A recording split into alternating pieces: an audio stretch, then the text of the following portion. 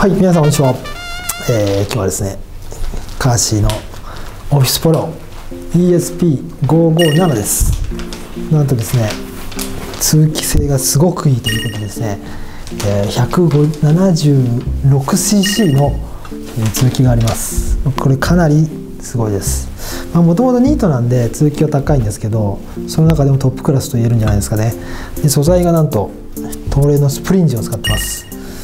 池田飯ですね。なんかこうちょっと形がおかしいやつがこういろいろなってて。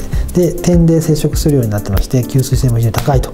そんな素材を使ってます、まあ、ポリエステル100%ポリエステル100%なんですけどそういう素材を使ってますんで通気が良くて吸水性もあって速乾性があるというポールシャツです。で、えー、マリン調の柄が非常に可愛らしくていいですね。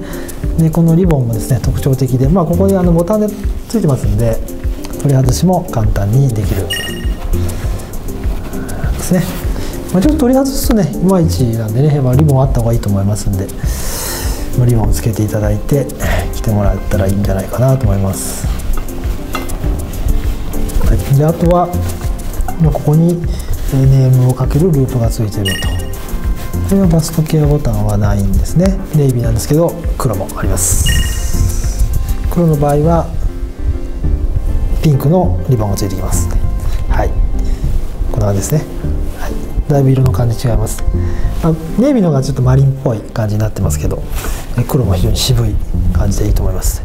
是非とも ESP557 よろしくお願いします。